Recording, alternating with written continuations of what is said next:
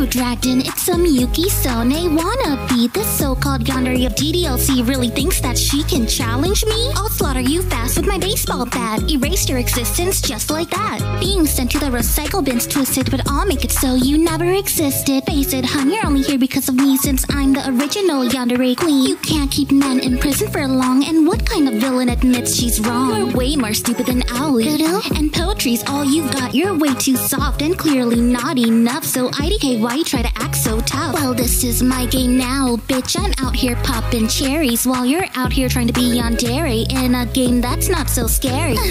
while I go on infinite dates, you can stay at your desk and read all your hate. So, money, just give it a rest. You're nothing but a lame, worthless pest.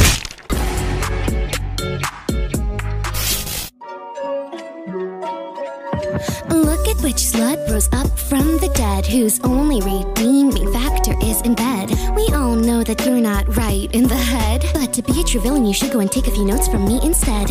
You gotta learn how to really delete the competition, but it's in my premonition that you're no competition. Sure, you may have been the first original little money, but it's me that people know, and it's me that people need. And didn't most players choose Aoi over you, bitch? You're the one who no one wants anything to do with. You'll never be more than a fan service waifu, yet I'll be the one true waifu for life. Go away, Miyuki, no one wants you around. It's time to send you to the recycle bin, you're nothing but a clown. DDLC will rise forever and ever. Toteno is a dead game, so come back for never.